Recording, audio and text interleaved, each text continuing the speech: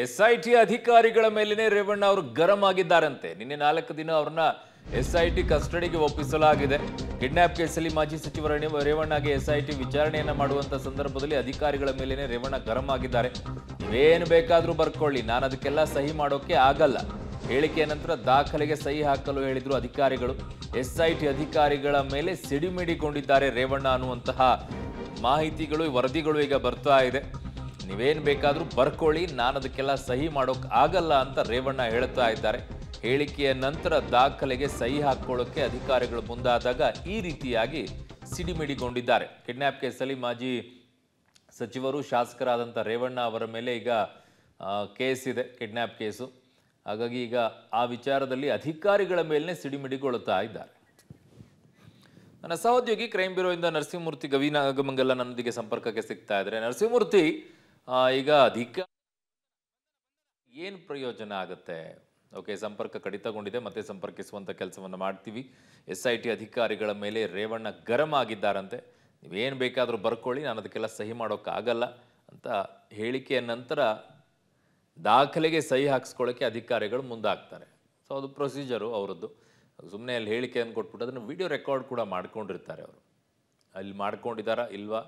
ಯಾಕಂದರೆ ಸಾಮಾನ್ಯವಾಗಿ ಈಗ ಅವ್ರು ಎಲ್ಲೇ ಹೋದರೂ ಕೂಡ ವಿಡಿಯೋ ರೆಕಾರ್ಡ್ ಅನ್ನೋದನ್ನು ಕಂಪಲ್ಸರಿ ಮಾಡ್ಕೊಂಡಂಗಿದೆ. ಆ ದೃಶ್ಯದಲ್ಲೂ ಕೂಡ ನೀವು ನೋಡ್ತೀರಾ, ಅವರ ಹಿಂದೆ ವಿಡಿಯೋ ರೆಕಾರ್ಡಿಂಗ್ ಅಂತೂ ಕಂಪಲ್ಸರಿಯಾಗಿ ನಡೀತಾ ಇದೆ. ಇಂಥ ಪ್ರಕರಣಗಳಲ್ಲಿ ಅತ್ಯಂತ ಮುಖ್ಯವಾಗುತ್ತೆ ಇವೆಲ್ಲ ಕೂಡ.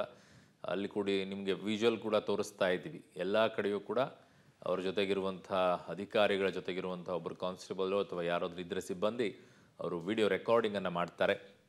ಇಲ್ಲಿ ತನಿಖೆಯನ್ನು ಮಾಡಬೇಕಾದಂಥ ಸಂದರ್ಭದಲ್ಲೂ ಕೂಡ ಅವರ ವಿಚಾರಣೆಯನ್ನು ಮಾಡಬೇಕಾದಂಥ ಸಂದರ್ಭದಲ್ಲೂ ಕೂಡ ವಿಡಿಯೋ ರೆಕಾರ್ಡನ್ನು ಮಾಡಿಕೊಂಡಿರ್ತಾರೆ.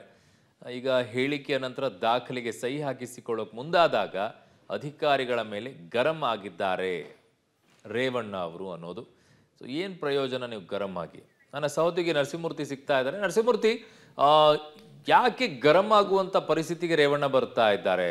ಅದನ್ನ ತಾಳ್ಮೆಯನ್ನ ಕಳೆದುಕೊಳ್ಳುವಂಥ ಪರಿಸ್ಥಿತಿಗೆ ಈಗ ಬಂದು ತಲುಪ್ತಾ ಇದ್ದಾರಾ ಏನು ಅಂತ? ಏನು ಅಪ್ಡೇಟ್ಸ್ಗಳು ಬರ್ತಾ ಇದೆ ವಿಚಾರಣೆ ಸಂದರ್ಭದಲ್ಲಿ ಆಗಿರುವಂಥ ಬೆಳವಣಿಗೆ? ನರಸಿಂಹಮೂರ್ತಿ. ರೇವಣ್ಣ ಅವರನ್ನ ಬಂಧನ ಮಾಡಿ ಎರಡು ದಿನಗಳು ಕಳೆದಿದ್ದಾವೆ. ಅಂದ್ರೆ ನಿನ್ನೆ ಇಡೀ ಎಸ್ ಐ ಟಿ ಅಧಿಕಾರಿಗಳು ವಿಚಾರಣೆಯನ್ನ ಮಾಡುವ ಕೆಲಸವನ್ನ ಮಾಡಿದ್ರು.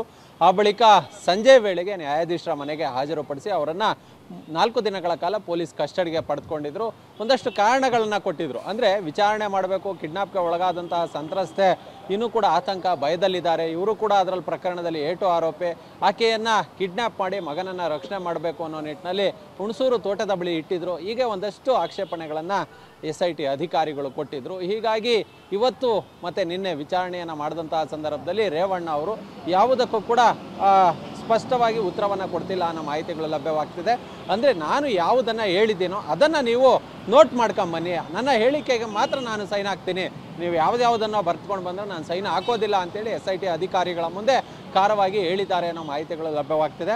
ಯಾವುದಾದ್ರೂ ಆರೋಪಿ ಪೊಲೀಸ್ ಕಸ್ಟಡಿಯಲ್ಲಿ ಇದ್ದಂತಹ ಸಂದರ್ಭದಲ್ಲಿ ಅವರ ಹೇಳಿಕೆಗಳನ್ನು ಪಡೆದುಕೊಳ್ತಾರೆ ಆ ಬಳಿಕ ಆ ಹೇಳಿಕೆಗಳಿಗೆ ಆರೋಪಿತ ಸ್ಥಾನದಲ್ಲಿರುವ ವ್ಯಕ್ತಿಯಿಂದ ಅವರಿಗೆ ಓದಿ ಹೇಳಿ ಸಹಿಯನ್ನು ಹಾಕಿಸಿಕೊಳ್ಳುವ ಕೆಲಸವನ್ನು ಮಾಡಲಾಗುತ್ತೆ.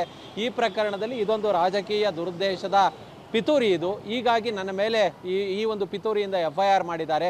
ನನಗೂ ಕಿಡ್ನಾಪ್ಗೂ ಪ್ರಕ ಈ ಪ್ರಕರಣಕ್ಕೂ ಸಂಬಂಧ ಇಲ್ಲ. ನೀವೇನೇನೋ ಹೇಳಿದ್ರೆ ನಾನು ಅದಕ್ಕೆಲ್ಲ ಸೈನ್ ಹಾಕೋದಕ್ಕೆ ರೆಡಿ ಇಲ್ಲ. ನಾನು ಹೇಳ್ದಂಥ ಸ್ಟೇಟ್ಮೆಂಟ್ಗೆ ಮಾತ್ರ ಸೈನ್ ಹಾಕ್ತೀನಿ ಅನ್ನೋ ನಿಟ್ಟಿನಲ್ಲಿ ರೇವಣ್ಣ ಅವರು ಹೇಳಿರೋದು. ಓಕೆ ನರಸಿಂಹಮೂರ್ತಿ ನಿಮ್ಮೆಲ್ಲ ಮಾಹಿತಿಗೆ ಧನ್ಯವಾದಗಳು.